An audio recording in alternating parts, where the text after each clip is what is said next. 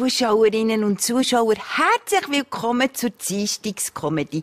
Mein Name ist Hanni Friedli und ich zeige euch heute wieder schöne Comedy-Ausschnitte. Aber zuerst muss ich schnell etwas schauen.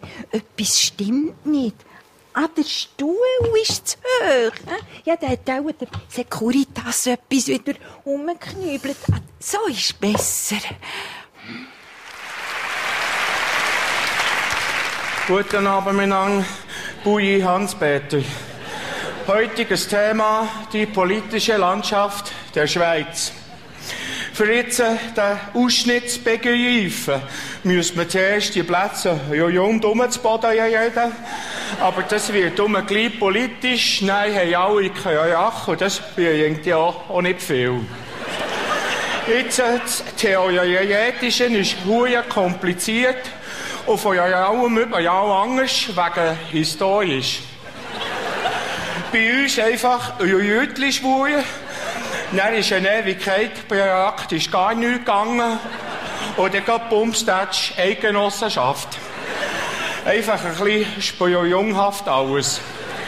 Auch geografisch ist die Schweiz ein Sonderfall. Es hat rundum einen Ausländer. Und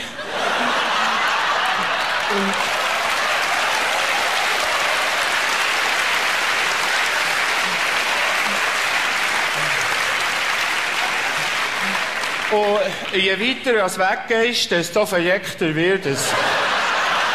Jetzt, ähm,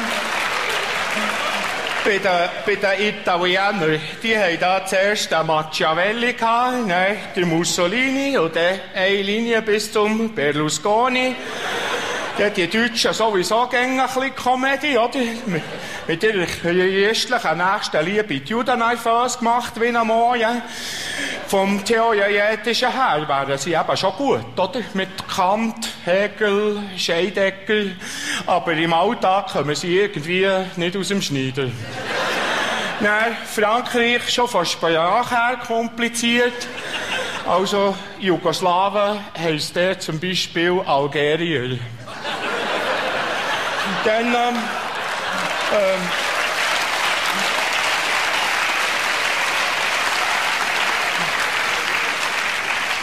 Österreich im Moment wenig Bedeuerungspotenzial. Jetzt äh, Schweiz. Also Genf gehört irgendwie nicht dazu, weil wenn man bei den Abstimmungen schaut, die stimmen meistens falsch. Ver vermutlich finden sie es auch noch lustig, ein bisschen, ein bisschen einfach. Nein, bei den grossen Kantonen, Zürich und Bern, haben wir gegen das Geniet mit der SVP. Hier Bauern und Gewerbler und da Industrielle und Halbplatz-Neite. ähm, In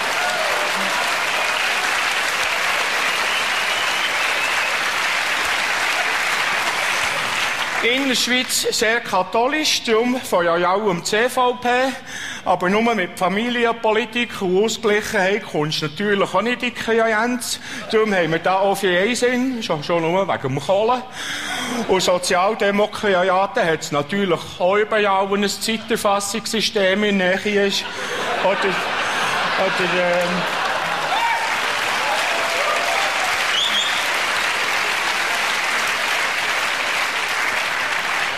oder engagierte Deutschlehrer und Kindergärtnerinnen. Speziell ist das Wallis von allem CVP, weil dort, wo es Lawinen hat, haben die Leute Angst vor dem lieben Gott.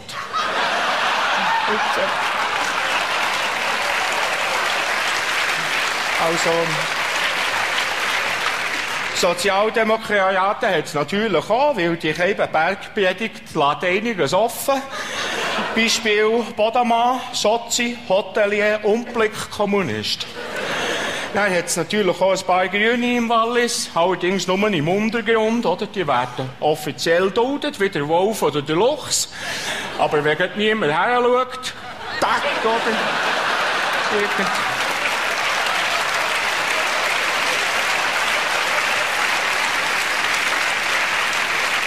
Schaufeln über den Ring oder so. Jetzt der Raum Zürich. Eben sehr gross, dicht besiedelt und verkehrsmäßig günstig, aber von der restlichen Schweiz abgeschottet. Die geografischen Kenntnisse der Stadt Zürcher sind schmal.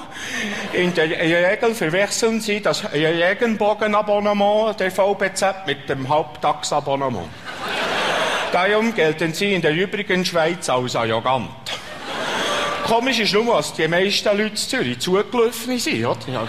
Kann ihm also passieren, dass einem der Billetkontrolleur im breitesten kleinen Dialekt nach dem Ausweis verjagt und der Schwarzfahrer behauptet auf Walliser Deutsch, er wohne schon seit Jahren im Kreis 4, ihn sollte man da schon kennen.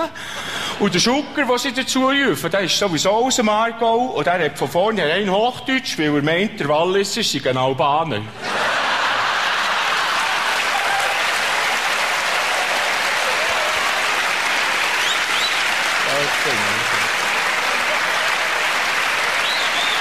Jetzt, ähm, die Auswertungen, die werden da von so Schlepperbandinnen auf das Zürich gebracht. Gerade die SBB spielt eine himmeltraurige Rolle. so, dass am Schluss nicht mehr weisst, ob jetzt einer ein Einheimischer ist oder ein Baskerli. Also, gebürtige Zürcher, die findest du am Ende noch im Engadin. Fertig.